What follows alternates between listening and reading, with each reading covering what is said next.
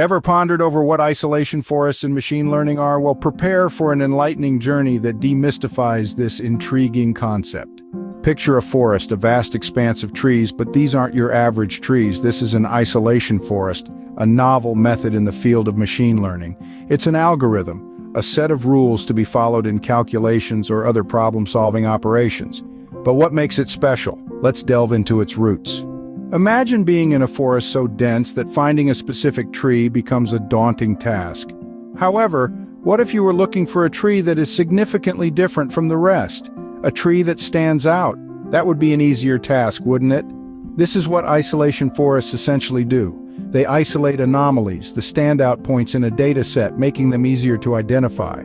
Think of it as the Sherlock Holmes of machine learning, identifying the odd one out not by searching through every point in the dataset, but by randomly selecting a point and then splitting the data. This process is repeated until the point is isolated. Now, you might wonder, what's the big deal about finding anomalies? Well, in the world of data, anomalies can represent anything from a cyber attack to credit card fraud. These outliers are often the most important pieces of the puzzle and the faster they are detected, the better. So how does an isolation forest achieve this? It uses a simple yet effective strategy. The idea is that anomalies are few and different, so they are easier to isolate. The isolation forest algorithm splits the data randomly, and the points that are isolated faster are considered anomalies. Now let's summarize the key points about isolation forests. They are a type of machine learning algorithm designed to detect anomalies in a dataset. The uniqueness of isolation forests lies in their approach. Unlike other algorithms that build profiles of normal points to detect anomalies, isolation forests directly target the anomalies.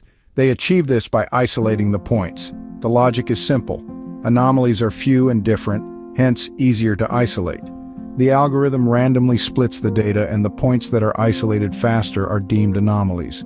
So, in the vast expanse of data, isolation forests stand tall and unique, providing a fast and efficient way to detect anomalies. They are the guardians of the data forest, keeping an eye out for the unusual and the out of place. So next time you hear about isolation forests and machine learning, remember the dense forest and the unique tree. It's not just an algorithm, it's a detective story, a search for the unusual in a sea of normality. And that, in essence, is the captivating world of isolation forests in machine learning.